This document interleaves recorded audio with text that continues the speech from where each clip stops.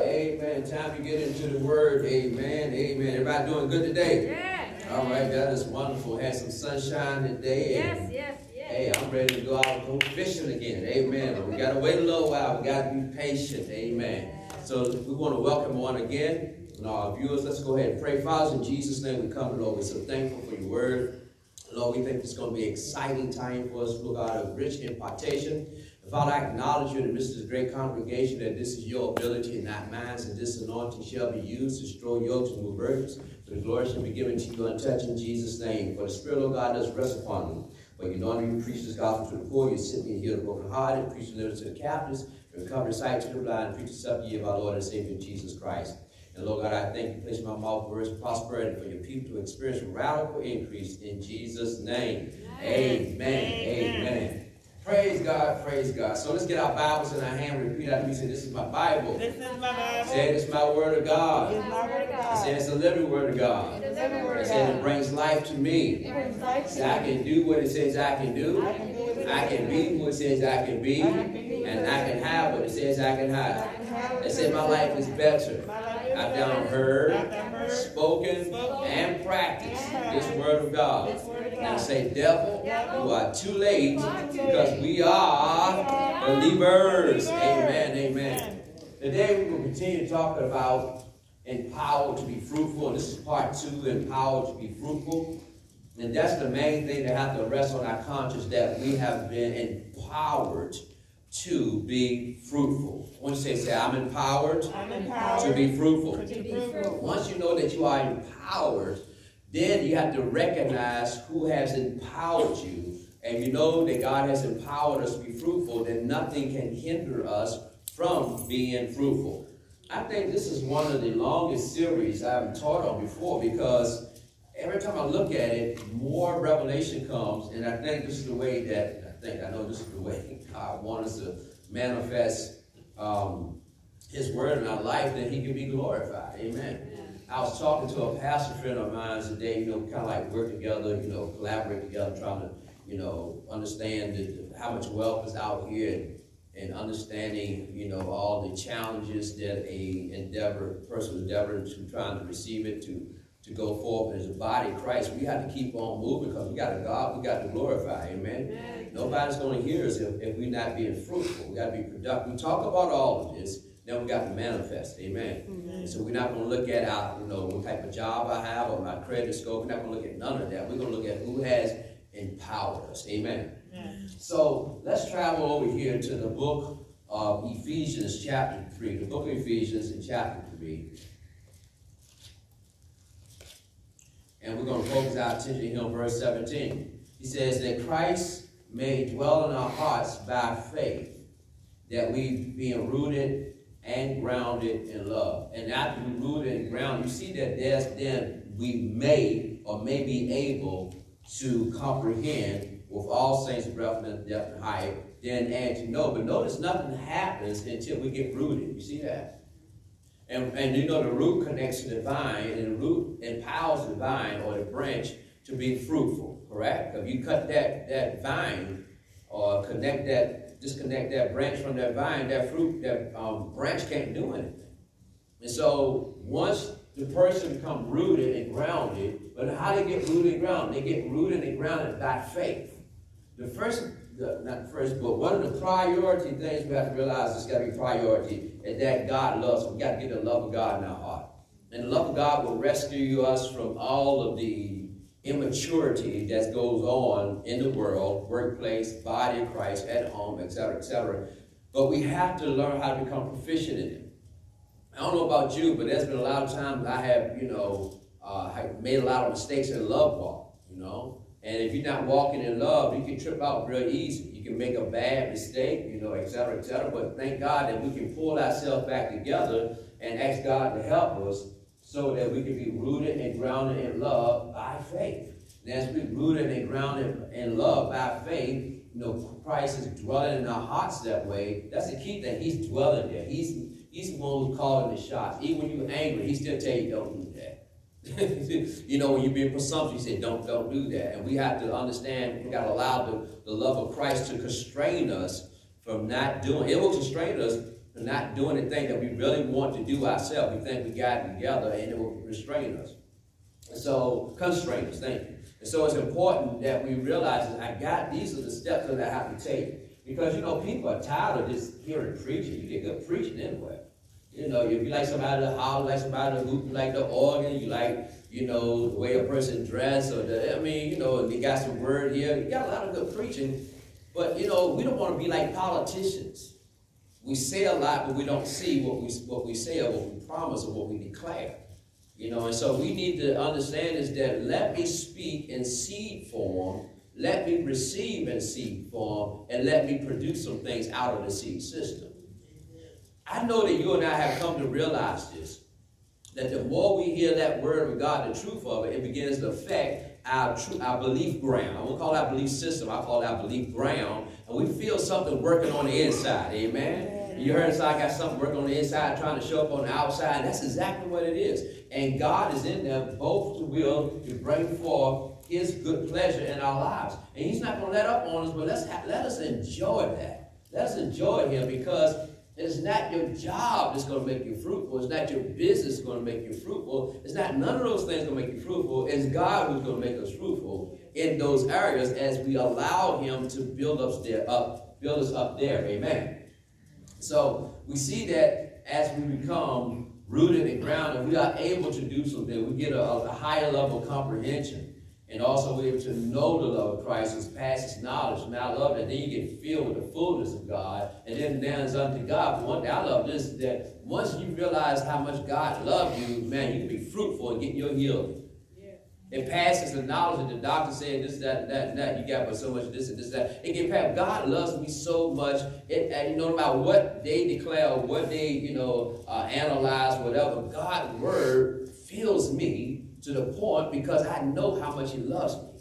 And once I know how much He loves me, no matter what I look at, something say, well, I desire to have that, but I don't make enough money for it. But God loves me enough that I can pass that knowledge. That I don't need to have that. That credit score ain't got nothing to do with that.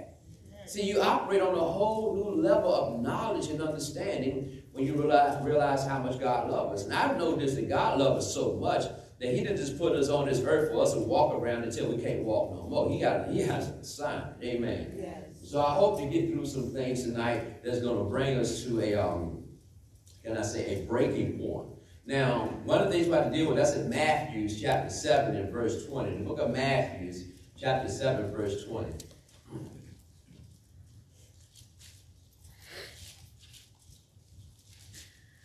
Matthew 7 and verse 20. And in verse 20 reads this, he says, Wherefore by their fruits shall you know them. Now, we read Sunday on this when we talk about false prophets and things to that degree, and um, you know, you're not bearing forth figs, and you know, you know, a good tree bring forth good fruit, and a, a good tree cannot bring forth evil fruit. Neither can a corrupt tree bring forth good fruit. He said, every tree that brings forth good fruit is and bring that fruit is that is good, it is hewed down and cast into the fire. He said you should know them by their fruits. That's how you're going to know them. Wherefore, by their fruits, that's how you're going to know them. Amen? Amen? And so, by looking at this, we see that, you know, we can have an area in our life that we bury for fear, or an area in our life where we bury for greed, or selfishness, or bury for doubt. And, and the thing about it, at least you know what's going on in your life. Amen. You know, and, and when you pay attention to your life, then you started doing something about the, the, the, how you're producing things. Like you're so easy to get angry, so easy to walk in fear, um, doubting or intimidated, so easy. Those are those are the type of evil fruits. We're not just talking about somebody going out stealing from somebody, manipulating somebody, or et cetera, et cetera. But those are manifestations. Okay. And so the great thing about it is that we can do something about the fruit that we bear. We can do something about that.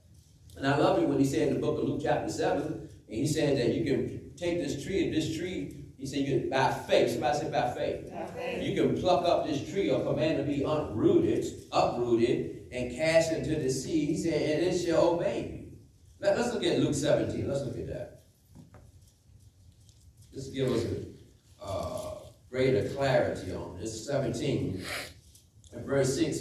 He says, and the Lord said, if you have fruit as a, excuse me, if you have faith as a grain of a mustard seed. And notice something, he's still speaking in the seed form. You might say unto the sycamore tree, be thou plucked up by the what? By the root, and be thou planted in the seed, and it shall, he says, go do it. He said, it shall obey you. So watch now. So if I see something in my life that is a is, is an attribute, a fruit of something that's not pleasing or that's hindering me, I know by faith I can uproot it and it shall obey me. But we got to understand, if I want to do it by faith, then how does faith come? By hearing. So if I'm if I have an area of my life where I'm impatient and I need to hear the word as a mustard seed on patience. So I can pluck up that tree of impatience and casting it into the sea. But notice I got to deal with from the root. I just can't say, well, you know, that's just who I am. I can't give no excuses about it. I got to deal with from the roots. Amen. And so this is the part of the Christian journey that is, um, I got to say, it's surgical, you know, and, but it's necessary. You got to practice surgery on yourself or how a, what I call a, a spiritual DNA or some type of, of, of, appraisal of yourself to see where you are and then deal with those areas in our life that are hindering us from being productive. All of us can be productive, and then we can be productive on a whole new level. You know, you got to have a front yard that's, that's green and look good. But when we get close up on it, some of the green is cracked grass or some type of you know, wild grass or weed, but it's still green. When you get up on it, people around, oh, that grass look good. But when they come up on you know what's in your yard. Okay, you know what's in your yard, and you have to. You can't just throw, you know, st spray stuff on to kill it. You got to get it up from the roots. Amen. And that's er, er, all of us today are dealing with have something in our life that we need to pluck up. Because we don't pluck it up, it's going to hinder what God wants to sow and to grow and to manifest in our lives. Amen. But by faith, we don't have to stay there. You, you got a lot of fear in your life, you got the fruit of fear, you don't have to stay with the fruit of fear. You can speak to that thing. Amen. How do you speak to the fruit of fear? You say, my God loves me, and I can cast my, my care on him because he cared for me. And then perfect love casting out all fear. Amen. You got to get that word as a grain of a mustard seed on the issue that you're dealing with. It's totally opposite with, and then speak that as you speak it, that it is uprooting the fruit that we don't want to be manifested in our lives. Amen? If you don't, if you lack comprehension or understanding or something, then we need to get the word of God, the word of God that, that guarantees us having a good understanding. Matter of fact, let's look at something. Let's go over here, if I can find it. I believe I have it in my notes here. I got so much stuff here. Um, let me see, did I write that one down? That is in Isaiah. I think it's in Isaiah. Let me see Isaiah 51. How do you find that?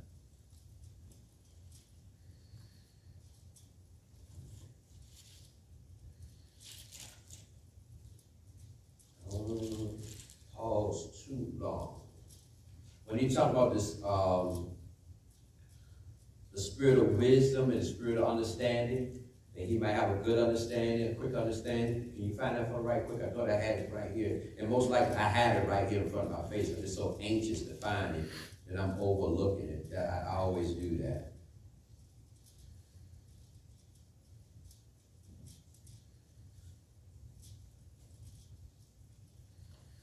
Isaiah 11, 3. Isaiah 11? 11, 3. 11, 3? Okay, thank you. I appreciate it. But when you get quiet, it get quieter. okay, that's good. Isaiah 11, verse 1. He said, And there shall come forth a rod out of the stem of Jesse, and a branch shall grow out of his roots. You see that? That, does, that look like it's going to deal with some type of fruit here, right? He said, And the Spirit of the Lord shall rest upon him. The Spirit of wisdom, understanding, the Spirit of counsel, and might, the spirit of knowledge, and of the fear of the Lord. And it'll make him of a quick understanding to fear the Lord, and he shall not judge after the sight of his eyes, neither reprove after the hearing of his ears. So just because he sees something, he's gonna say, you know, that's not that's how it is, because he hears something, he's not gonna say, okay, this is what I hear, because he has this understanding here. But notice all of this, these, these attributes are mental. You see that? They're mental. And so watch now. So the word of God in seed form must affect our mentality. A lot of times it affects people's spirits, but they don't let it get here. And the word of God must affect our mentality. So when you hear something bad, like negativity, whoo, boy, that, that spirit of negativity can ride like a like a like a ghost. And you gotta say, no, but I'm not, I'm not judging about why I hear, because now if I get to the, the seed of, of God's word, understanding this root process, watch this now, I'll be a quick understanding. I will not judge by what I hear or reprove by what I see by my eyes or you know, judge by what you see with your eye or prove by what you hear with your ears, one or the other. And so I'm not held captive by bad news because bad news is out there. It is everywhere. Bad news is everywhere. And the human, watch that, the humanistic part of us will always give ear to negativity. And God knows that. He says, so the more we stay in the Word of God, it, it rescues us from bad news, from things that we see, things that we hear, because they we walk by faith and not by sight. And he said, be careful about how you hear. He said, but the simple will leave every word. So he showed us some things that would, that would, how can I say, that would uh, protect us so we know exactly what to do about ears and what to do about eyes. Amen. Say amen. amen. That this is so important because if you don't, you, you leave yourself unshielded. You're loving God in your spirit. You know He lives on the inside, but we're leaving ourselves unshielded, and we don't know, understand that the Word of God is supposed to affect our mentality. It's supposed to affect us mentally, you know, how we act, excuse me, how we think, how we process, you know, how we judge with our eyes and how we improve with our ears. It's supposed to do all that so we won't be manipulated by what goes on in this world. And the devil is reaping havoc all over the world.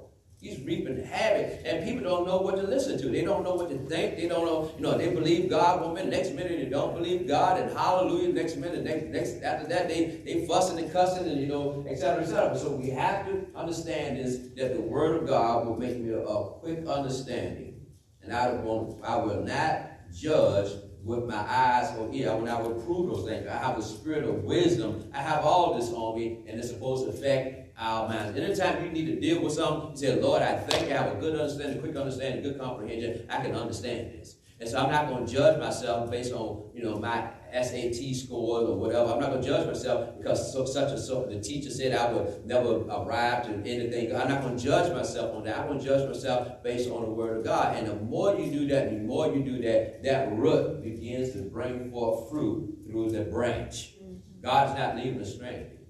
He's not going to leave us stranded.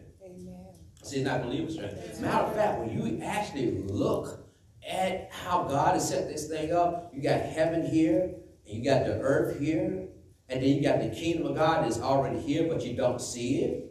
Okay, it's not with observation, but it's on the inside of us. So he is showing us, see, the seed is the invisible part, which is the word of God that holds all that God has in store for us.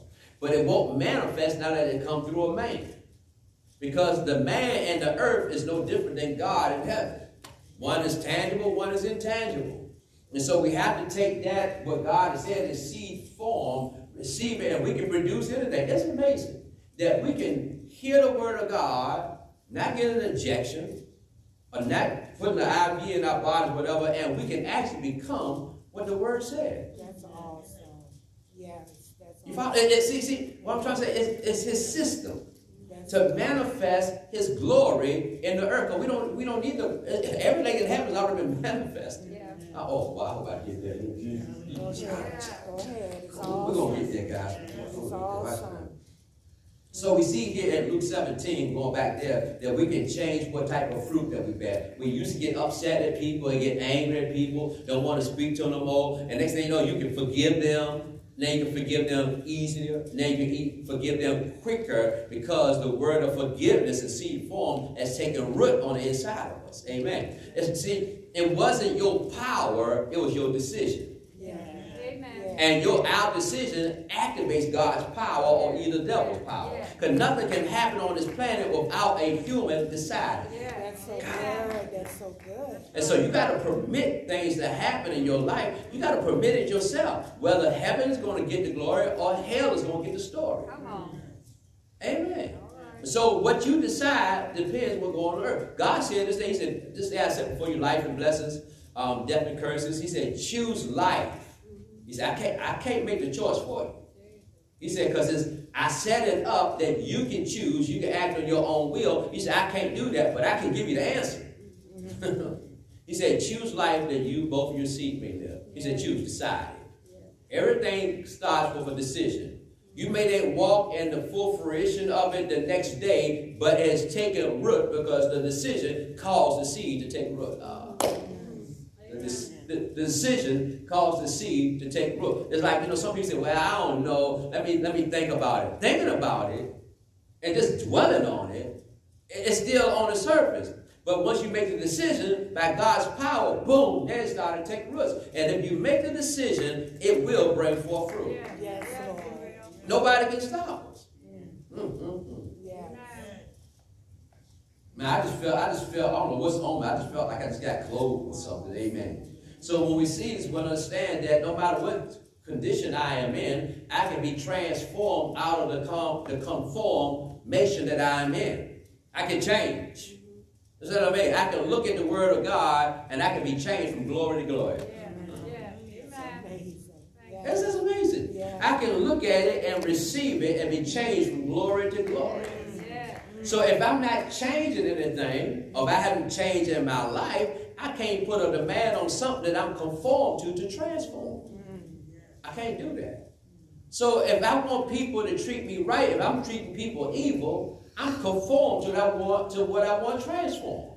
If I want people to stop talking about me evil, but I'm talking about them evil, watch them. I can't transform what I'm conformed to. So I have to make sure that I'm no longer conformed to fear. I'm not conformed to jealousy. I'm not conformed to, you know, anxieties. I'm not conformed to the greed and doubt. And un- I'm not conformed to it. I can transform everything around me if I'm not conformed to it. The reason why Jesus was able to do what he was able to do, he said, I'm not from here. He said, I'm going to teach you how to live. I'm not, he said, I'm not conformed to this. God, I love this. Because you can't put a demand on something that looks just like you. But watch it now to, to change. But once, watch now, if we see ourselves like Jesus sees us, then I can place a demand. I can be transformed to that, and I can go from glory to glory by looking into that glass, beholding who I really am. Because what I just did is not me, but I keep doing it. That's what I want to have. Because sin is not an issue with God, it's only an issue to our results. Amen. So that sin could be doubt and unbelief, or and it hinders what type of fruit we're going to bear. So I got to look at this. Let me stop doing things that hinder who I really could be. Amen. Amen. What I really can do. And when somebody doing something or you don't even know exactly what it is, don't don't baptize your mind in it. Because you're trying to um, think something through and hope that God will give you an answer on it in your dreams. And you know you can you can you can put a little dream together for yourself sometimes. You know that, right? You dwell on something so hard it's sitting in the back of your head and it comes up and the enemy can fool you. You know, make you think that there's an angel God showing you something. You just dwell on it so long and it begin to you know, be active while you were asleep. Amen. So every time you have a dream, whatever, judge the dream, ask God about the dream, talk it out. Don't just say it just this, because you can be tripping off a dream that doesn't even exist. You just, you know, you just had a bad day and had too much stuff bombarding, bombarding your conscience. Now, but let, us move on here. Watch this. So whatever we're dealing with in life, we can live, we can outfruit it. we have to bear fruit beyond it. All right, we have to bear fruit beyond it. Let's go into the book of James, chapter 1. The book of James, chapter 1.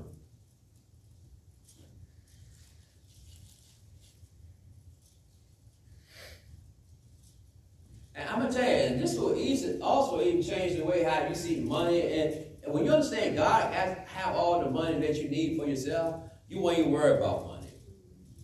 You won't even worry. Sometimes we be, you know, giving and blessing to the point like, do you know how much you're giving? But if God prompts me to do so, I ain't gonna worry about it. Even the areas where it look like I may have lost some gain or lost some profit, I still put money out, but that protect me not to look at losses.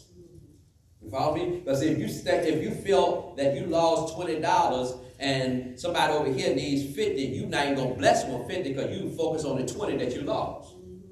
But if I understand I can't lose anything, then the twenty that's supposed to be lost it's not going to affect my heart, but I can still get the 50 because I can't lose. All right, I that. Everything has to, you have the potential to reconcile and to restore all things back into you.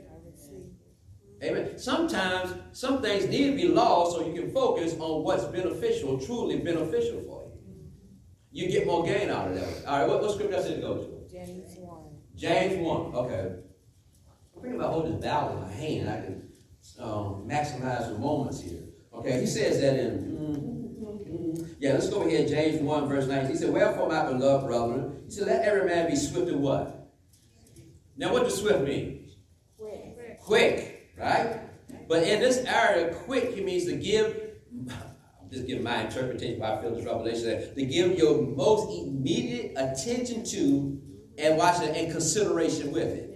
Not say, okay, I heard you. No, that's not swift to hear. You know, somebody, you know, I, suppose, I heard you. I, yeah, you heard me, but you didn't hear me. Mm-hmm. See, hearing is more than, you know, you heard something just well articulate. Hearing means, okay, it took a place in me, okay, and I have a, a watch. My response is out of consideration of what you said. That's how you keep a conversation. It's not a conversation if it's not communion. Conversation is this. If what I'm saying back to you doesn't benefit or makes what we just said go to the next level or bring more truth out of it, then I'm not having a conversation. Mm. Because you have to have communion with conversation. Amen. Thank you, Holy Ghost. Because our words were not given just only for conversation. It was given for creation. Right. Come on. About to fall out, man. Right. So we hinder so much creation through arguments. So you can say something, and I can be in agreement with you, and I can watch and consider what you say and converse what you say. Watch it now. Sowing seeds of what you say and make a communion what you say, and we can create what we say. If I fight against you, then I hinder the law of creation. Because words were not given to us just for communication or conversation, but for creation. And God said, let there be, and it was. Amen. We believe in God for, as they say, a ministry, that, you know, that they want more people to come into that ministry. And somebody said, well, ain't nobody coming. Ain't no this and that. See, what you saying is hindering our creation. Yeah, yeah. Because see, first of all, God don't want to bring anybody in there, because God will add to the church. And he don't want to bring nobody in there that that person with the ill attitude will hinder that harvest. So he'll put a harvest on hold for some things. Because he don't want nobody to mess up the harvest. We, we got to know how to conduct ourselves. Every church need to remember, and every church need to know how to conduct themselves in the kingdom of God. Amen. Come on, talk to me now. And so we got to realize this, because sometimes swift growth can hinder the growth of a ministry. Yeah, yeah. Mhm, It can hinder that. And most of the time, the people who say that, well, why we ain't this and why we are not that are the, are the least contributors to the vision. Giving a tithe doesn't mean that you love your ministry. Holding unity together and belief together. You have to serve in every capacity of the church, but holding belief and communion and unity together, watch that, that causes growth in a ministry. Amen.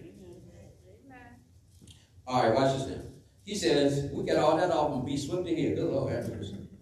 He said, and slow to speak. I know a lot of us are like, go ahead, Pastor, let me get past the slow to speak part. he said, if you do that, you be slow to wrath. He said, for the wrath of man worketh not the righteousness of God. He said, wherefore lay apart all filthiness and superfluity of naughtiness and receive with meekness the, the what? Being grafted. What do engrafted mean? Rooted. planted and rooted, committed. Amen. Word which is able to do what? Save. Is able to do what? Save. Say what? Save your soul, right? And I learned this. Thank you, Holy Spirit, so I meant to get there earlier. And then God said, son, don't be upset or get upset about mistakes that you make in life. He said, as long as you're on this planet, you have you have need of me being your Savior. That's right. When we get to heaven, we have no need of a Savior. He's our King. Amen. But while we're on this earth, we will always have need of a Savior. So if you are dealing with stuff, watch now, and you just got through it, and you don't want to deal with nothing no more, that means that you need to go ahead and go to heaven right now. because while you're on this planet, you and I will have need of a Savior. But the, the powerful thing is this I have a Savior. Job said, I know my Redeemer there. He said, You've seen all the hell I've been through, all the disadvantages, all the trials and tribulations. He said, I know my Redeemer lived. Amen. The one who redeemed my soul. So don't, don't worry about anything you go through in life. We have a Savior. We have a Savior. Listen, that's good news. Yeah. I was thinking about that in the, in the kitchen today, and I did a, a what I call that thing, a e na na. I said, I need na na. Oh, I felt that thing strong. Well, I said, I have a Savior. Amen. And it's good to know that we have Him who will save us Yeah. From seen and unseen danger. Thank you, Lord. Right now, He can save you while you're troubled in your mind right now, while others can't see it, and your amen is kind of, you know, blocking that a little bit, but you're dealing with some God. said, I can save you out of that thought right there, too. Yeah. Come. He said, because you're tired of thinking that because it's irritating. He said, let me save you from that. He just don't, while I lifted up the hands is not all the praise that we give to God, but but a conscious, watch that, that answers towards God. A good conscience that is an agreeable with God without doubt, shame, or unbelief. Amen. Amen. Woo, man, I tell you, y'all some rich people up here today. He said, but be ye doers of the word and not hearers only, deceiving your own self. Then he talking about, but if any man be a hearer of the word and not a doer, he's likened to a man beholding his natural face in the glass. And he told him he go straightway and forget what kind of person he was. He forgot that he's not that person. He, he can be the person that he heard. If God said you healed, you can be that person that you heard. Why? Because that word that you heard comes in seed form. And the one who sold it to you, he is the dispenser of his promise, and he's the root of his promise. Yeah. Amen. he's the dispenser and the root of his promise, but we have to be in agreement with what he said in order to for it to take root. Watch this now, because the key thing is this: is that I'm going to consider and make the decision. Be it unto me anyhow. Boom, and Mary took, and the, the sperm of the Word of God, Christ, took root in her womb. You got to catch that. We can't walk away from that. Because first she said, How should this thing? She said, Forget all that. Ain't nobody gonna figure it. How should this thing be said I don't know not a man? Then she decided. She said, Forget all that. She said, I can't figure out how you gonna bring me out of that. I can't figure out how you gonna heal my body. I done been to all these doctors. They say this and say that. I got a account full of prescriptions. I can't figure all that. How we gonna walk a millionaire and seven figures. I can't figure all that out. But since I can't figure it out, let me just decide to be in agreement with you. And bam, it took root. Yeah. Yeah. And God said, I just want you, He said, I don't want you to try to figure it out. He said, I just want you to decide. Yeah. Yeah. Yeah. Right. Yes, yes. He said, choose you this day. He says, make the choice. He said, if you choose it, we can be on the same side. But if you don't choose it, we can't be on the same side. We can say, hallelujah, thank you, Jesus, but you got to make the choice. I learned this. You can use what you choose. Yeah. You can use what you choose. And as we choose it, we can use it. And I choose to glorify God in this earth. I'm not going to let no devil or no billionaires have God's good and think they got it somewhere else. My Bible says there's the anything that is good coming down from the Father, like with